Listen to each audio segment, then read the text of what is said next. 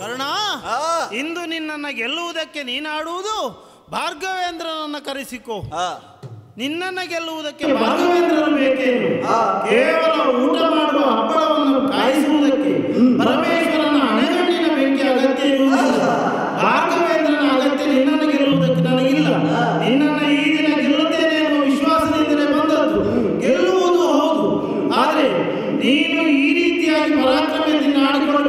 ಆಡಿಕೊಳ್ಳಬೇಕು ಅಂತ ಆದ್ರೆ ಆಲಿಸ ವ್ಯಾಕರಣ ನಿನ್ನ ಚಿತ್ರಸೇನೆ ಕಟ್ಟಿಕೊಂಡು ಹೋಗುವಾಗ ನಿನ್ನ ಒಡೆಯನಾದಂತ ಗೌರವವನ್ನು ಕಟ್ಟಿಕೊಂಡು ಹೋಗುವಾಗ ನೀನೇನ್ ಮಾಡಿದ್ದಿ? ಏನ್ ಮಾಡಿದ್ದಿ ಪಾರ್ಥ! ಚಿತ್ರಸೇನ ಪ್ರಕರಣವನ್ನ. ನಿನಗೆ ಆಡುವುದಕ್ಕಿರುವುದೇ ಲೆಕ್ಕದ ಮೂರು ಪ್ರಕರಣ. ಒಂದು ಗೋಗ್ರಹಣ ಮತ್ತೊಂದು ಚಿತ್ರಸೇನ. ಹೌದು. ಅಲ್ಲಿ ಸೋತದ್ದೌದು ಧಾರಾಳ ಒಪ್ಪಿಕೊಳ್ತೇನೆ ವಿಷಯವೇ ಅಲ್ಲ. ಯಾಕೆ? ಯಾಕೆ? ನನ್ನ ಅಂತರಂಗದಲ್ಲಿರುವುದು ಒಪ್ಪಿಕೊಳ್ಳುವುದಲ್ಲ ಮಾಡಬೇಡ. ಅಂತರಂಗದಲ್ಲಿರುವುದು ಪಾರ್ಥನ ಕುರಿತಾದಂತ ದ್ವೇಷ. ಕೌರವನ ಮೈತ್ರಿಗಿಂತಲೂ ನನಗೆ ಪಾರ್ಥನ ವೇಷ ಪ್ರಬಲವಾದದ್ದು. ಕರ್ಣನಿಗೆ ಕೌರವ ಮೈತ್ರಿ ಒದಗಿ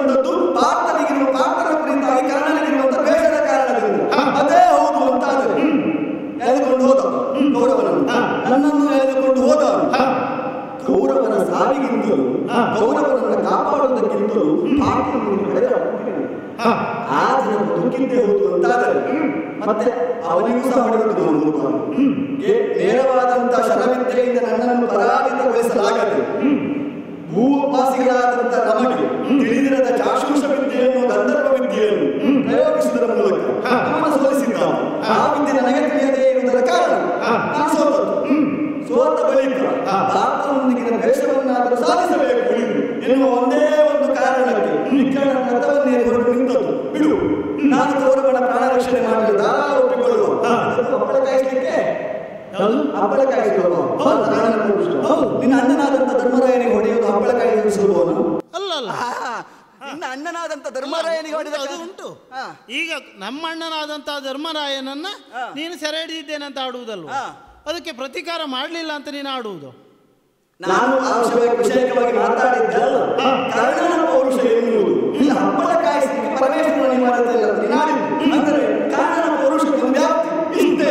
ಒಂದು ಸಂಕುಚಿತ ವ್ಯಾಪ್ತಿಯನ್ನು ಕಲ್ಪಿಸಿ ಇಷ್ಟೇ ಅಂತ ಯಾರಿದ್ದು ಅಷ್ಟೇ ಕಾರಣ ಪೌರುಷ ಅಂತ ಆದ್ರೆ ನನ್ನ ಧರ್ಮರಾಯನಿಗೆ ಹೊಡೆದಿದ್ದೇನೆ ಮಧ್ಯಾಹ್ನದ ಹೊತ್ತಿಗೆ ಮೊದಲು ನನ್ನನಾದಂತ ಭೀಮನಿಗೆ ಹೊಡೆದಿದ್ದೇನೆ ಅದು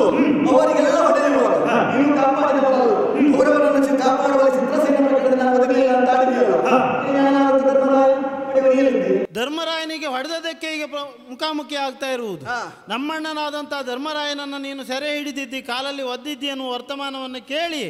ಈ ದಿನ ನಾನು ಪ್ರತಿಜ್ಞಾಬದ್ಧನಾದದ್ದು. ನಿನ್ನನ್ನು ಕೊಲ್ಲುತ್ತೇನೆ ಅಂತ ಯಾವತ್ತೂ ಆಡಿದ್ದೇನೆ. ಹಿಂದೆ ಸೂರ್ಯಾಸ್ತದೊಳಗೆ ಕೊಂದು ಮುಗಿಸ್ತೇನೆ ಅಂತ ಆಡುವುದಕ್ಕೆ ಕಾರಣ.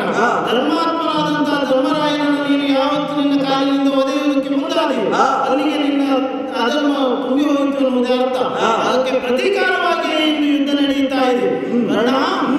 ಧರ್ಮರಾಯನ ಪಾಂಡವರ ಕುರಿತಾದಂತಹ ಎಲ್ಲ ಕುಕೃತ್ಯಗಳಿಗೂ ಗೌರವನಿಗೆ ಮೂಲ ಪ್ರೇರಣೆಯಾಗಿ ಕಾಣ್ತಾ ಇದ್ದವನು ನೀನು.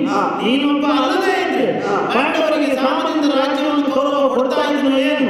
ಕೇವಲ ನಿನ್ನ ಮೇಲೆ ಬೇಯಿಸಿಕೊಳ್ಳುವುದಕ್ಕಾಗಿ ಪಾರ್ಥನ ವಿಚಾರವಾಗಿ ಆಡುವುದಾದರೆ ಕಳನಾಯಕ ಕಾರಣ ಕೌರವ ಅಲ್ಲ ಅಲ್ವಾ? ಅಲ್ಲ. ಸರಿ ಈಗ ಕೌರವನನ್ನ ಇಷ್ಟಕ್ಕೆ ಹಾಳು ಮಾಡಿದ್ದೆ ನೀನು ಅಂತ ಆಡುವುದು. ಆ ಕಾರಣದಿಂದ ಇಂದು ಅದರ ನಿರ್ಣಯ ಆಗಬೇಕು. ಇಂದು ಉದಿಸಿದ ಸೂರ್ಯ ಅಸ್ತಮಿಸುವುದರೊಳಗೆ ಒಂದು ಕರ್ಣನಾಗಬೇಕು ಇಲ್ಲದಿದ್ದರೆ ಅರ್ಜುನ ಆಗಬೇಕು. ಕರ್ಣನ ಪೌರುಷದ ವಿಷಯಕವಾಗಿ ನೀನು ತಿಳಿದದ್ದು ಬಹಳ ಕಡಿಮೆ. ಏನು? ರಾಜಸುಯಾದ್ವರದ ಹೊತ್ತಿನಲ್ಲಿ ಅವಮಾನಗೊಂಡು ಏಕಾಂತ ಗ್ರಹವನ್ನ ಸೇರಿದ ಯುದ್ಧ ದುರ್ಯೋಧನ. ನೋವಿಗಾದ ಕಾರಣ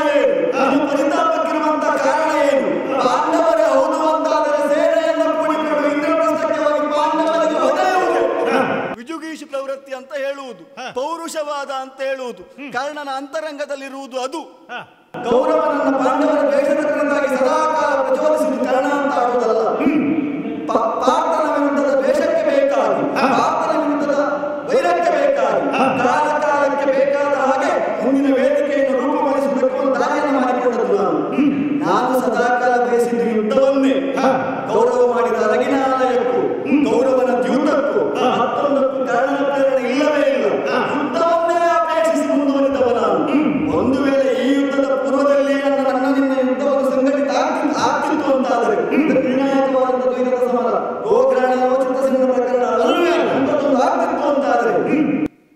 ನಿನ್ನೊಂದಿಗಿನ ದ್ವೇಷ ಕಳೆದು ಹಾ. ಕೌರವನಿಗೆ ಮಿತ್ರನಾಗಿ. ಬದುಕುತ್ತಿದ್ದೆ ನಾನು. ಆ ಯುದ್ಧ ಸಾಧಿತ ಆಗಬೇಕು ಅಂತಾದ್ರೆ ಇಲ್ಲಿಯ ತನಕ ಕಾಯಬೇಕಾಯಿತು. ಎದುರಾಳಿಯಾಗಿ ನಿಂತಿದ್ದೇವೆ. ಏನು? ಹೊಡೆಯುವುದಲ್ವೋ ನೀನು ಬಟನೇ ಅಲ್ಲ ಅಂತ ನಾನು ಆಡುವುದಲ್ಲ. ನೀನು ಕುಟಿಲ ವಿದ್ಯೆಗಳಿಗೆ ಮಾತ್ರ ಬಟ ಅಂತ ಆಡಿದ್ದು. ಸರಿ. ಅದೇನೇ ಇದ್ರು. ಈ ಹೊತ್ತು ಮುಖಾಮುಖಿಯಾಗಿ ನನ್ನೊಂದಿಗೆ ನಿಂತಿದ್ದಿ. ಇಂದಿನ ಯುದ್ಧದಲ್ಲಿ ನೀನು ನಿನ್ನನ್ನು ನಿನ್ನ ರಥವನ್ನ ಏನು ಮಾಡ್ತೇನೆ ನೋಡಿ ಏನು ಮಾಡ್ತೇನೆ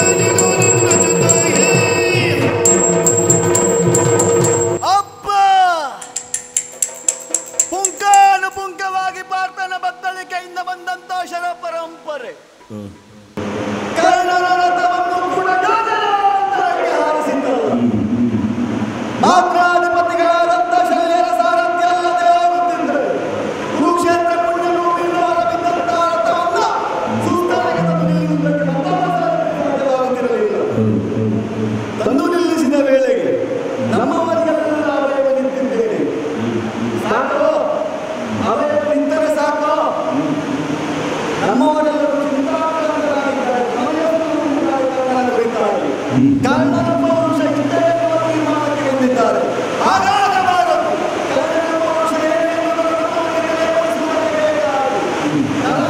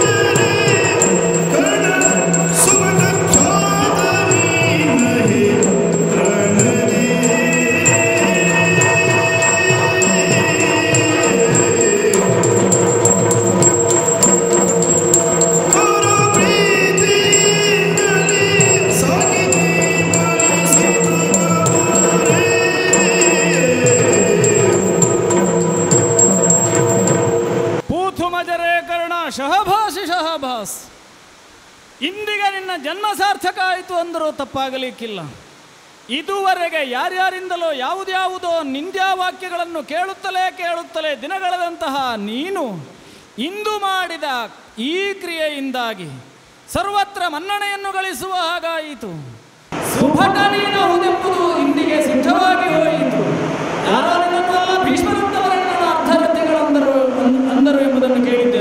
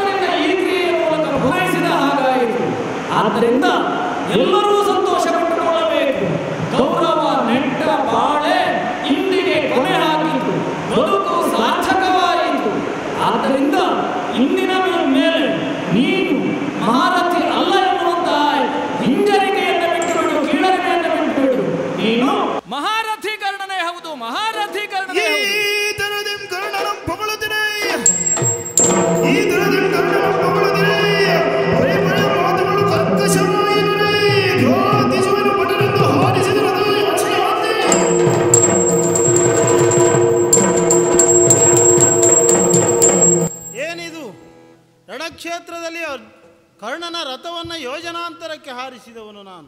ಕೇವಲ ಒಬ್ಬನ ಮಹಾರಥಿಯಾದಂತಹ ಆತನ ರಥವನ್ನು ಯೋಜನಾಂತರಕ್ಕೆ ಹಾರಿಸಿದ್ದು ನಮ್ಮ ಮಾವನಾಗಿರುವಂತಹ ಶಲ್ಯಭೂಪತಿಗಳು ಅವನ ರಥದಲ್ಲಿರುವುದರಿಂದ ಮರಳಿ ಕುರುಕ್ಷೇತ್ರದಲ್ಲಿ ಬಂದು ಸ್ಥಾಪಿಸಿದರು. ಆದರೆ ತನ್ನ ಎಲ್ಲ ಜೀವನ ಶಕ್ತಿಯನ್ನು ಒಗ್ಗೂಡಿಸಿಕೊಂಡು ನಮ್ಮ ರಥವನ್ನು ಕೇವಲ ಹತ್ತು ಬಿಲ್ಲಂತರ ಹಿಂದೆ ಹಾರಿಸಿದ್ದು ಅಲ್ಲ ಅಂತ ಆಡುವುದಕ್ಕಿಲ್ಲ ಆದರೆ ಅದನ್ನೇ ನಮ್ಮ ದೇವರು. ಹೆಚ್ಚು ಎನ್ನುವ ಹಾಗೆ ಶ್ರೀಹರಿಯ ಕರ್ಣನನ್ನು ಹೊಡುವುದಕ್ಕೆ ಆರಂಭಿಸಿದನಲ್ಲ ಯಾಕೆ ಕರ್ಣ ಕರ್ಣನ ಹಾರಿಸಿದಂತ ಹತ್ತು ಬಿಲ್ಲಂತರವೇ ಯೋಜನಾಂತರಕ್ಕಿಂತ ಹೆಚ್ಚಿಗೆಯಾಗಿ ಹೋಗುತ್ತಾನೆ ಅಂತ ಆದರೆ ನಾನು ಹಾರಿಸಿದ್ದು ಕಡಿಮೆ ಅಂತ ಕಾಣ್ತದೆ ಹಾಗಾಗಿ ಯೋಜನಾಂತರಕ್ಕಲ್ಲ, ಈ ಲೋಕದಿಂದ ನಾನು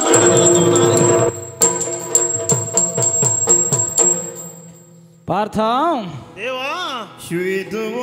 ಹಾರಿಸಿದೆ. ಪಾರ್ಥ ದೇವಾ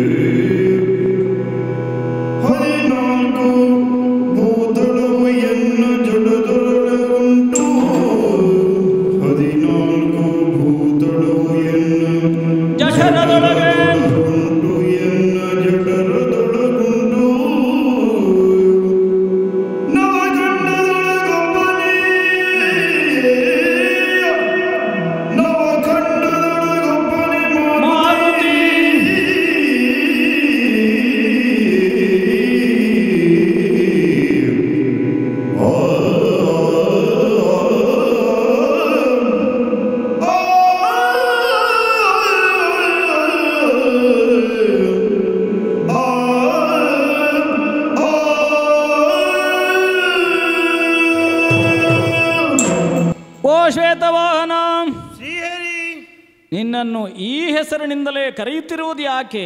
ಯಾಕೆ? ಎದುರು ನಮ್ಮ ರಥಗಳಿಗೆ ರಥಕ್ಕೆ ಕಟ್ಟಿದಂತಹ ಹಯಗಳನ್ನು ನೀನು ನೋಡಬೇಕು.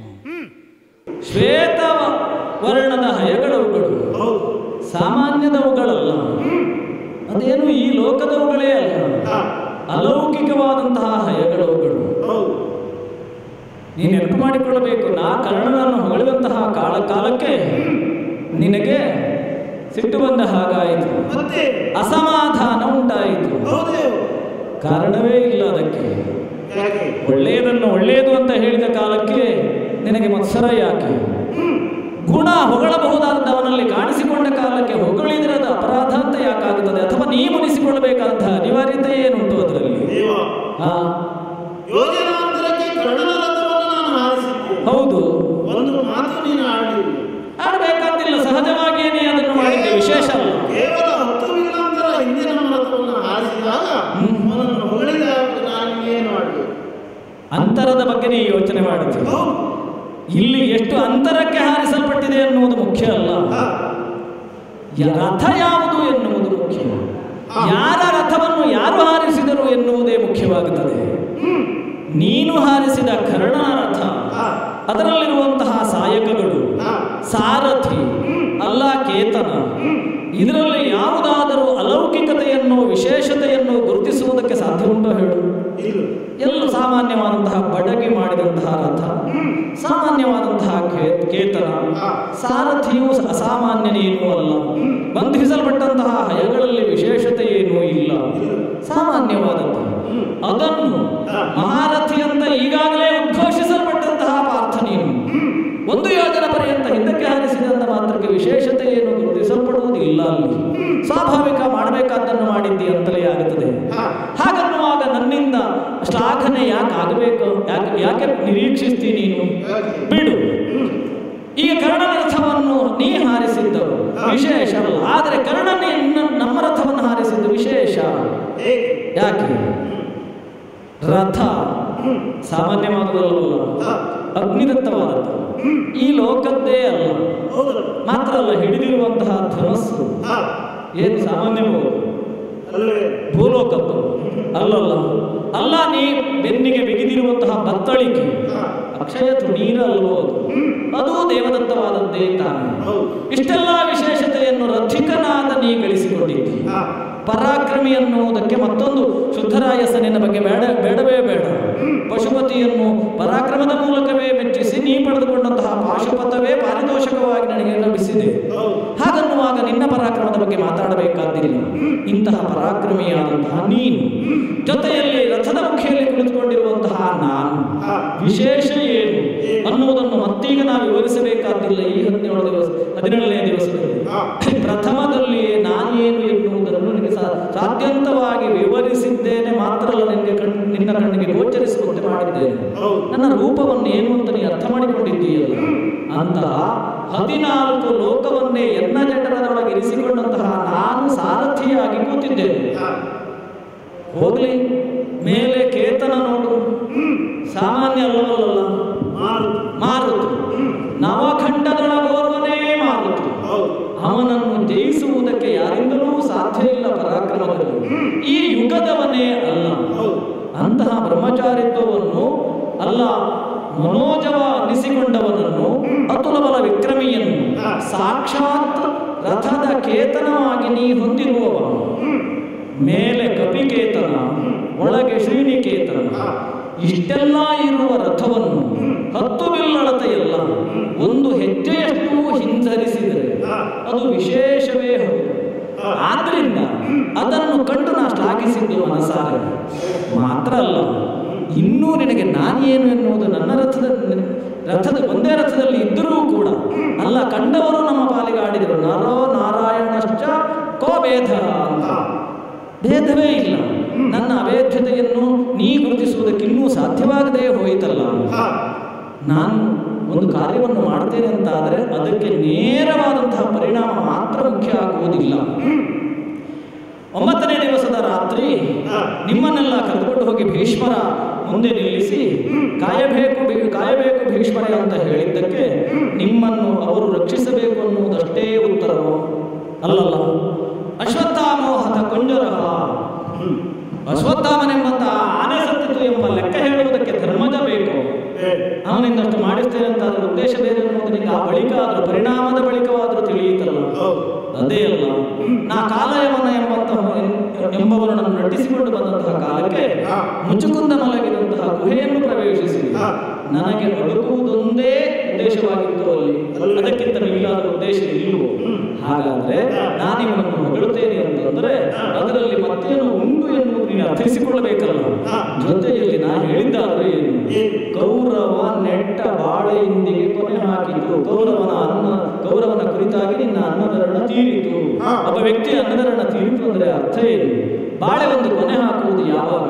ಎಲ್ಲವನ್ನು ಇನ್ನು ವಿವರಿಸಬೇಕಾದಿಲ್ಲವಲ್ಲ ಆದ್ರಿಂದ ನಾನಷ್ಟು ಯೋಜನಾಂತರಕ್ಕೆ ಹಾರಿಸಿದ್ದೇನೆ ಅವನು ಇಷ್ಟೇ ಹಾರಿಸಿದ್ದಾನೆ ಎಂಬಂತಹ ಅಂತರದ ವ್ಯತ್ಯಾಸಗಳು ಬಿಡು.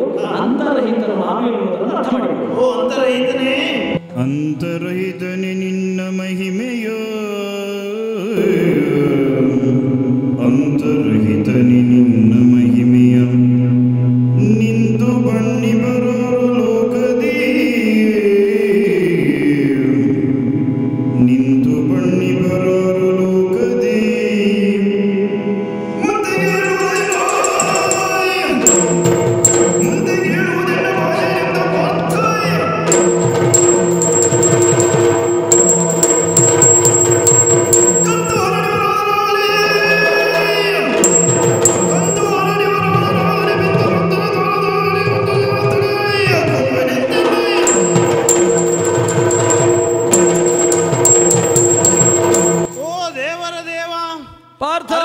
ಮನಕ್ಕೊದಗಿದಂತ ಮೌಢ್ಯವನ್ನು ಸವಿಸ್ತಾರವಾಗಿ ವಿವರಿಸುವುದರ ಮುಖೇನ ಕಳೆದಿತ್ತು ಈಗ ಚೆನ್ನಾಗಿ ಅರ್ಥವಾಯಿತು. ನಾನು ಮಾಡಬೇಕಾದಂತಹ ಕಾರ್ಯ ಎನ್ನುವುದಾಗಿ ನನಗೆ ನೆನಪಿಸಿಕೊಡ್ತಾ ಇದೆ ಆ ಕಾರಣದಿಂದ ಮನಸ್ಸಿನಿಂದ ಉಂಟಾದಂತಹ ಶಂಕೆಯನ್ನು ಕಳೆದು. ಈಗಲೀಗ ಹೊಸ ಮನಸ್ಸಿನಿಂದ ಧನಸನ್ನು ಹಿಡಿದು ನಿಂತಿದ್ದೇನೆ ಅಲ್ಲಿರುವಂತಹ ಕರ್ಣನ ಕುರಿತಾಗಿ ಕಲ್ತು ಹರನೇವನಾಗಲು 바로 온 음.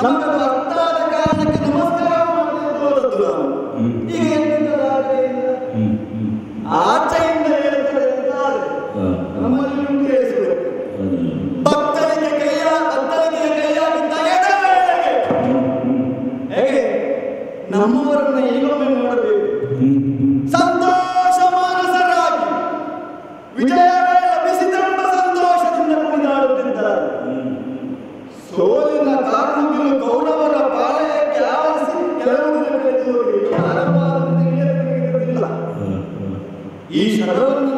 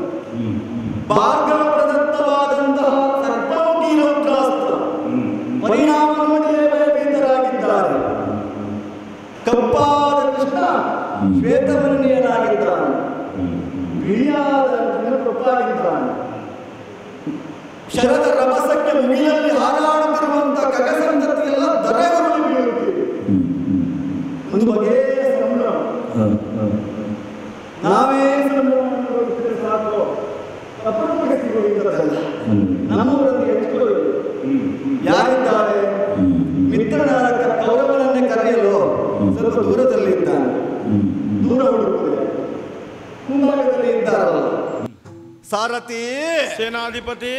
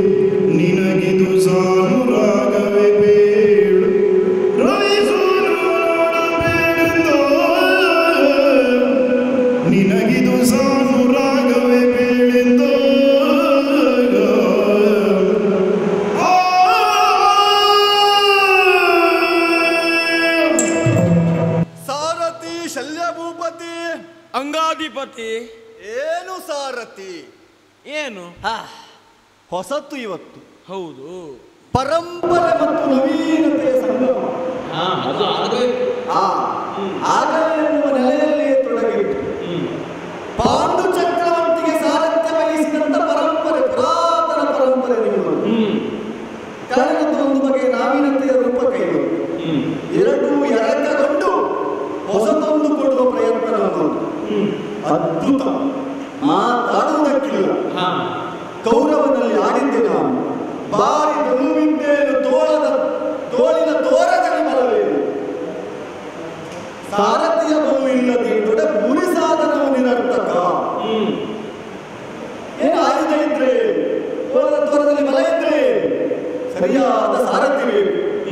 ಅದು ಸಿಕ್ಕಿದ ಕಾರಣಕ್ಕಾಗಿ ಈ ದಿನ ಕರ್ಣ ವಿಜೃಂಭಿಸಿದ ಹೇಳ್ತಾರೆ? ಆ ವಿಜೃಂಭಿಸುವಂತ ನೆಲೆಗೆ ವಿಜೃಂಭಿಸುವ ಬಗೆಗೆ ಪೂರಕವಾಗಿ ಒದಗಿರುವಂತಹ ನನ್ನ ಕೈಯಲ್ಲಿ ವಿರಾಜಮಾನವಾದಂತಹ ಬಾಣರತ್ನ ಆಯ್ತು ಹ್ಮ್. ಏನು ಸಾರಥಿ ಸರಳು ಪಾಂಡವ ಸೇನೆಯನ್ನು ಗೆಲ್ಲಬಹುದೇ ಹೌದೇ ಗೆಲ್ಲಲ್ಲ. ಹೌದೇ ಗೆಲ್ತದೆ ತೀರ್ಮಾನ ಪಾಂಡವರನ್ನು ಪಾಂಡವರೆನ್ನುವುದು ಒಂದು ಮದುವೆಯ ಮಂಟಪ ಆ ಮದುವೆಯ ಮಂಟಪದಲ್ಲಿ ಐದು ಕುಟುಂಬಗಳು ಯಾರು ಭೀಮನ ವಿಷ್ಣುವಿನ ಮಕ್ಕಳಾಗ್ತದೆ ಆ ಐದು ಕಂಬಗಳಲ್ಲಿ ಒಂದು ಕಂಬ ಬಿದ್ದರೂ ಕೂಡ ಮದುವೆ ಮನೆ ಹಾಳಾಗಿ ಎದುರಾಳಿಯಾಗಿ ನಿಂತ ಪಾರ್ಥ ಒಬ್ಬನಿಗೆ ಹೊಡೆದರೆ ಸಹ ಪಾರ್ಥವರಿಗೆ ಪರಿಲೋಕ ಪರಂಪರೆ ಕಟ್ಟಿಟ್ಟ ಮತ್ತೆ ಪಾರ್ಥ ಸತ್ತ ಮೇಲೆ ಅವರು ಯುದ್ಧ ಮಾಡುತ್ತಾರೆ ಎನ್ನುವಂತ ನಂಬಿಕೆ ನನಗಿಲ್ಲ ಹಾಗಾಗಿ ಗೆಲ್ಲಬಹುದು ಪಾಂಡವ ಸೇನೆಯನ್ನ ಗೆದ್ದ ಹಾಗೆ ಪಾರ್ಥನನ್ನ ಗೆಲ್ತಾರೆ ಪಾರ್ಥನ ಮಾನಿನಿಗೆ ವೈದವ್ಯ ದೀಕ್ಷಾ ವಿಧಿಯ ಕೊಡಲಾವುದೇ ಇದು ಪ್ರಧಾನ ಇದು ಪ್ರಶ್ನೆ ಇದು ಪ್ರಶ್ನೆ ನಿರ್ಣಯ ಕೊಡಲಾವುದೇ ಯಾರಿಗೆ? ಸುಭದ್ರೆಗೆ. ದ್ರೌಪದಿಯ ವಿಷಯ ಮಾತಾಡೋದು ಯಾಕೆ ಸುಭದ್ರೆಯೇ ಪ್ರಧಾನ ಯಾಕೆ? ನಿಜವಾಗಿಯೂ ಅವಳ ಕೊರಳಲ್ಲಿ ರಾರಾಜಿಸಬೇಕಾದದ್ದು ನನ್ನ ಮಿತ್ರನಾದಂತಹ ಕರ್, ಕೌರವ ಕಟ್ಟಿದ ಕರಿಮಣಿ ಅದನ್ನು ತಪ್ಪಿಸಿ ಅಲ್ಲಿ ರಾರಾಜಿಸುತ್ತಿರುವುದು ಪಾಠ ಕಟ್ಟಿದ ಕರಿಮಣಿ. ಹಾಗಾಗಿ ಅವಳ ಕರಿಮಣಿಯನ್ನೇ ಲಕ್ಷ್ಯವಾಗಿಟ್ಟುಕೊಂಡು ಪಾತ್ರ ಮಾಲಿನಿಗೆ ವೈದವ್ಯ ದೀಕ್ಷಾವಿಧಿಯನ್ನು ಕೊಡಲಾಗುವುದು ಈಗ ಪ್ರಶ್ನೆ, ನಿರ್ಣಯ ಪ್ರಶ್ನೆ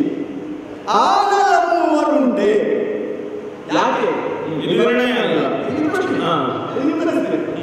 ಆಗಲನ್ನುವರುಂಟೆ ನಮ್ಮಿಂದಲೂ ಪ್ರತ್ಯಸ್ತ್ರವಿರಹಿತವಾದಂಥ ಶರಗಳು ಹಿಂದೆಯೂ ಪ್ರಯೋಗಿಸಲ್ಪಟ್ಟಿದೆ. ಹೌದು.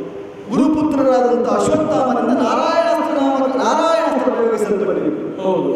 ಇದೇ ಬಗೆಯ ವಿಜಯ ವಿಜಯರವ ಒಳಗಿತ್ತು ಆ ಕಾಲಕ್ಕೆ ಕೌರವರ ಪಾಳೆಯದಲ್ಲಿ.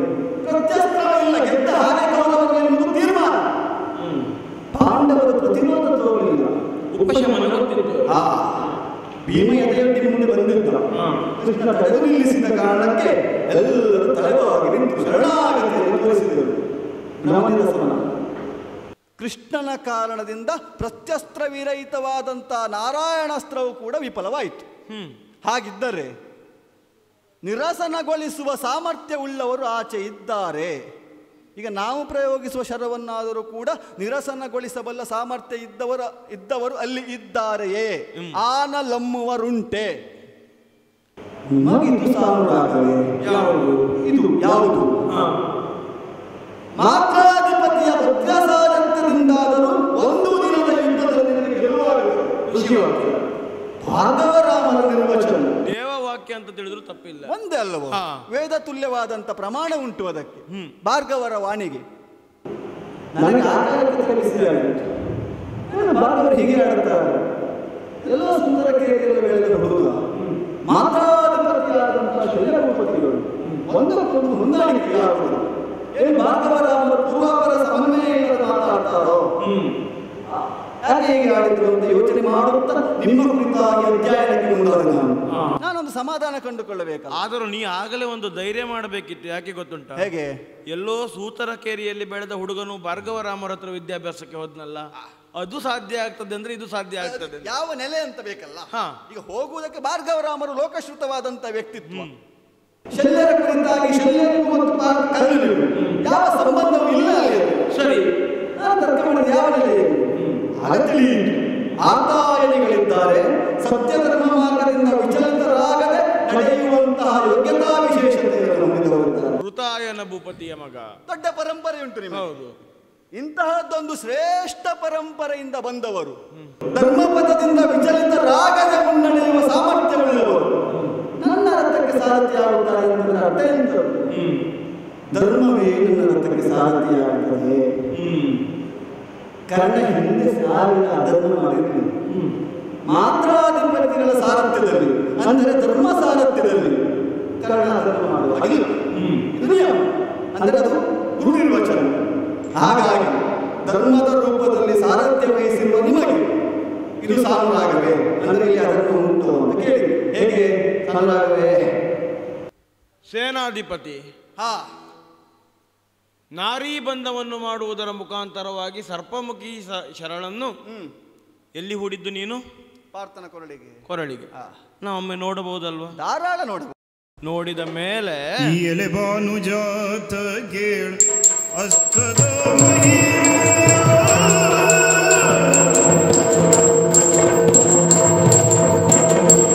Yeni boy.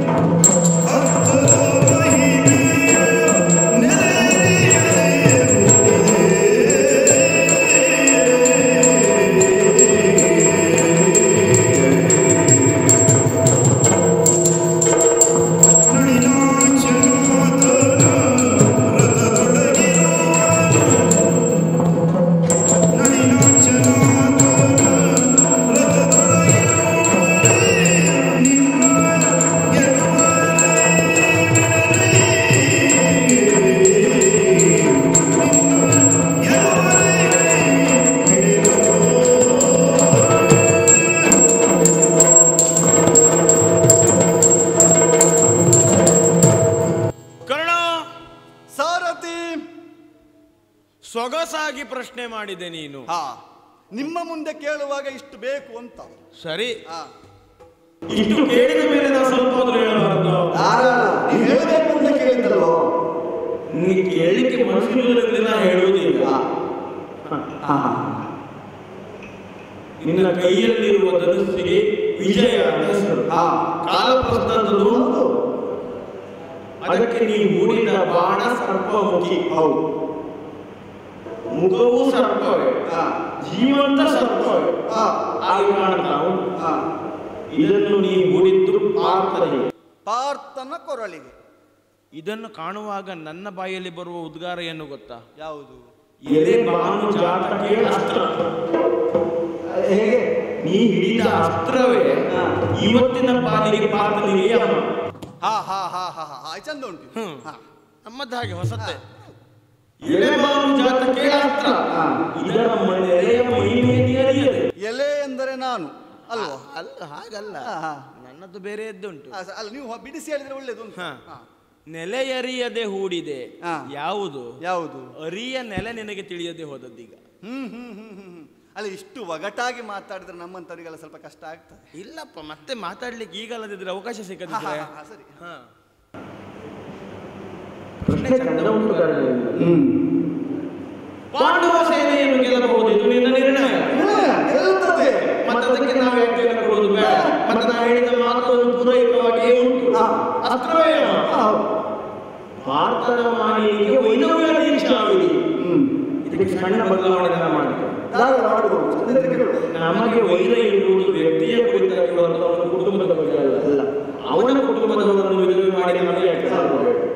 ನಾ ಗ್ರಹಿಸುವುದು ಹೇಗೆ? ಈ ಯುದ್ಧ ಭೂಮಿಯಲ್ಲಿ ಇದುವರೆಗೆ ನಡೆದ ಎಲ್ಲಾ ಪ್ರಕರಣಗಳಲ್ಲಿಯೂ ಒದಗಿ ಬರಬಹುದಾದ ವಿಜಯ ವಧು ವಿಜಯ ಮಾಲಿಕೆಯನ್ನು ಹಾಕುವುದು ವಿಜಯವರನಾದ ವಿಜಯವಿದೆ ನೀನು ಹೂಡಿದ ಶರಕ್ಕೆ ಪಾರ್ಥನ ಕೊರಳು ಹೋಯಿತು ಅಂತಾದ್ರೆ ಯುದ್ಧ ರಂಗದ ವಿಜಯದ ವಧು ಹಾ. ಅದು ಪಾರ್ಥನ ಮಾನಿನಿಯಾಗಿದ್ದವಳಿಗೆ ವೈದವ್ಯ ದೀಕ್ಷೆ ಕೊಡಬಹುದು.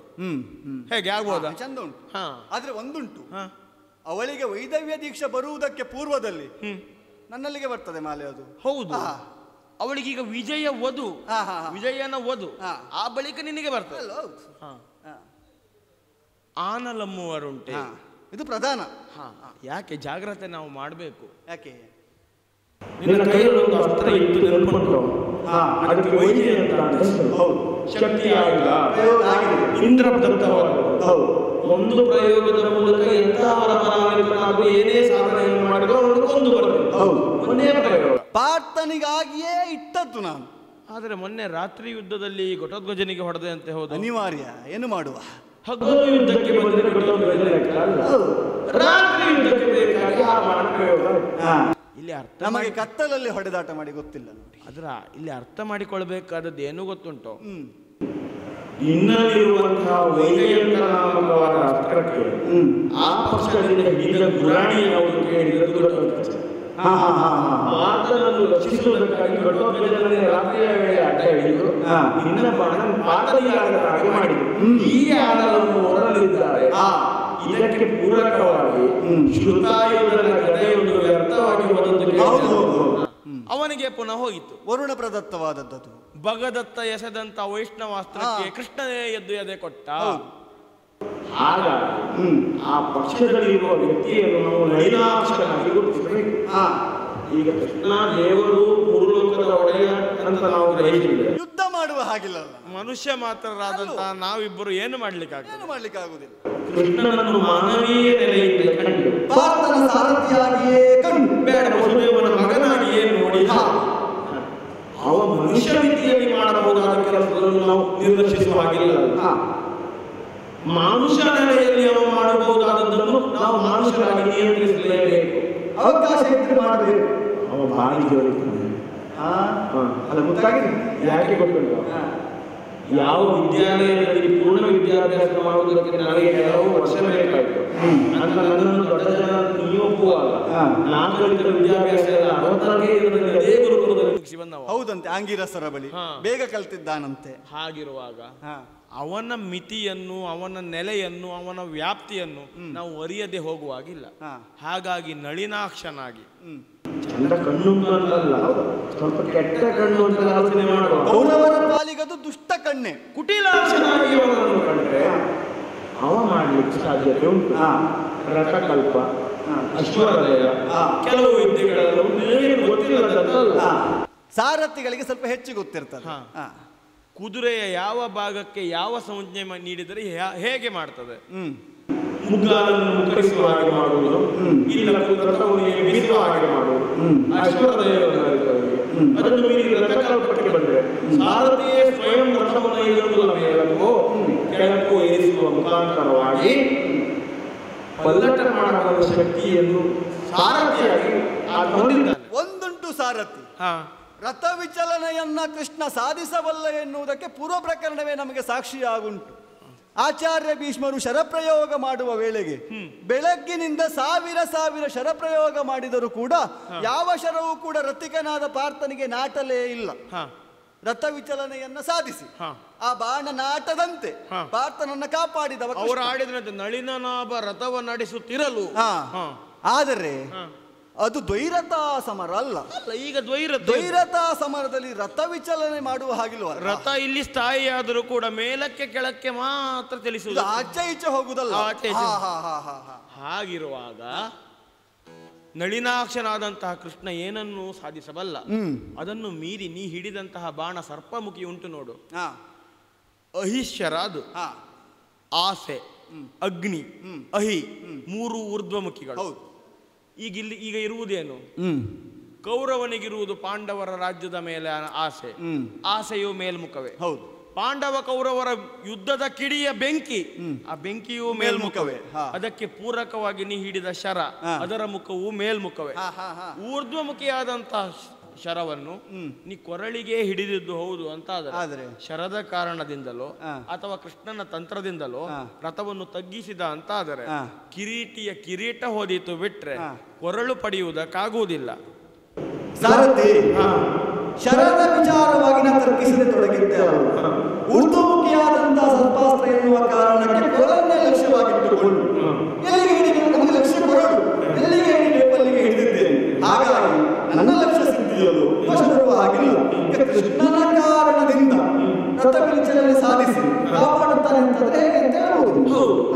ಕೃಷ್ಣ ರಥವನ್ನು ತಗ್ಗಿಸಿದ ಅಂತ ಆದ್ರೆ ಕಿರೀಟಕ್ಕೆ ಹೋಗ್ತದೆ. ಹಾ. ಕಿರೀಟಿಯ ಕಿರೀಟದಿಂದ ನಮಗೆ ಲಾಭ ಉಂಟು? ಅಗತ್ಯ ಇಲ್ಲ. ಅಗತ್ಯ ಇಲ್ಲ. ಹಾಗಾಗಿ ಹಾ. ನೀ ಹಿಡಿದಿರುವ ಗುರಿ ಸರಿ ಉಂಟು. ಹಾ ಹಾ. ಅದು ಸಮಾಧಾನ ನನಗೆ. ಅದರ ಲಕ್ಷ್ಯ ಸರಿ ಅಲ್ಲ ಹಾ ಅಂದ್ರೆ ಗುರಿ ಸರಿ ಉಂಟು ಲಕ್ಷ್ಯ ಸರಿಯಲ್ಲ ಅಂತ ಯಾಕೆ ಆಗಿದೆ ಹೀಗಿಡಿದ ಗುರಿಯಿಂದ ಅರ್ಜುನ ಬದುಕುವುದಕ್ಕೆ ಸಾಧ್ಯ ಉಂಟು. ಹಾಗಾಗಿ ಈ- ಈಗ ಹಿಡಿದ ಗುರಿಯನ್ನು ಬದಲಿಸಿ ಗುರಕ್ಕಾಗಿ ಬೆಸಸಿದೆ ಅಂತಾದ್ರೆ ಕಿರೀಟಿಯ ಕೊರಳು ಕತ್ತರಿಸಲ್ಪಡುತ್ತದೆ ವಿಜಯಲಕ್ಷ್ಮಿ ಒದಗಿ ಬರ್ತಾಳೆ ನೀ ಹೇಳಿದ ಎಲ್ಲಾ ಆವತ್ತಿನ ಪ್ರಶ್ನೆಗಳಿಗೆ ನೀನು ಉತ್ತರ ಕೊಡುತ್ತೆ ಹಾಗಾಗಿ ಎರಡನೇ ಹಿಡಿದು ಹೊಡೆ. ಭೂಪತಿ ಸಾರಥಿ ಭೂಪತಿಯ ನೆಲೆಯಲ್ಲಿ ಸಾರಥಿಯ ನೆಲೆಯಲ್ಲಿ ನೀವು ಆಡುವ ಮಾತು ಈ ಕಾಲಕ್ಕೆ ನನಗೆ ಸರಿಯಾಗಿ ಕಾಣುವುದು ಹೌದು. ಅದು ಒಂದು ಪ್ರಶ್ನೆ. ಏನು?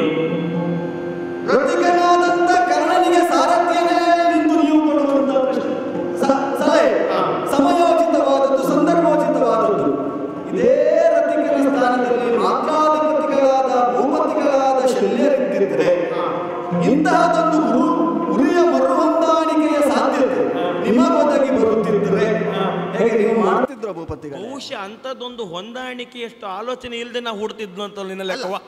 ಅದು ಪೂರ್ವ ಅದು. ಆಲೋಚನೆ ಮಾಡಬೇಡ. ಹಾಗೆ ಅಭ್ಯುಪಗಮನ ಮಾಡುವುದಲ್ಲ. ಅದು ಬೇಡ. ನಾನು ಆಡುವುದು. ಈಗೊಂದೇ ಬಂದಿದ್ರೆ ಹೊಂದಾಣಿಕೆ ಆಲೋಚನೆ ಮಾಡದ ಹುಡಿ ಹಿಡಿದಾಯ್ತು ಹಿಡಿದ ಬಳಿಕ ಹೊಳೆಯಿತು ಆಗ ಹೊಂದಾಣಿಕೆ ಮಾಡ್ತಿದ್ರು ಕರ್ಣ ಹಾ ತಲೆಯ ಕೂದಲು ಬೆಳ್ಳಗಾದದ್ದು ಬಿಳಿ ಬಣ್ಣ ಹಚ್ಚಿ ಅಲ್ಲೋ ಅದಕ್ಕೆ ಅನುಭವ ಅಂತ ಹೆಸರು. ಆ ಅನುಭವದ ನೆಲೆಯಿಂದಲೇ ಆಲೋಚಿಸಿ ಹಾಗೆ ಆಗದ ಹಾಗೆ ನಾನಿರ್ತದೆ. ಇದು ಹೀಗೆ ಆಗೋದೇ ಇಲ್ಲ. ನಾ ಅರ್ಥ ಮಾಡಿಕೊಳ್ಳಿ ಆಯಿತು ನೀವು ಆಗದ ಹಾಗೆ ಹಿಡಿಯುವಂತ ಯೋಚನೆ ಮಾಡುವವರು ನಿಮಗ ಯೋಗ್ಯತೆ ಉಂಟು ನಿಮ್ಮ ತಲೆಯ ಕೂದಲು ಬೆಳ್ಳಗಾಗಿದೆ ಅನುಭವ ಸಿದ್ಧಿಸಿದೆ. ಆ ಅನುಭವದ ಆಧಾರದಲ್ಲಿ ಮೊದಲೇ ಸರಿಯಾಗಿ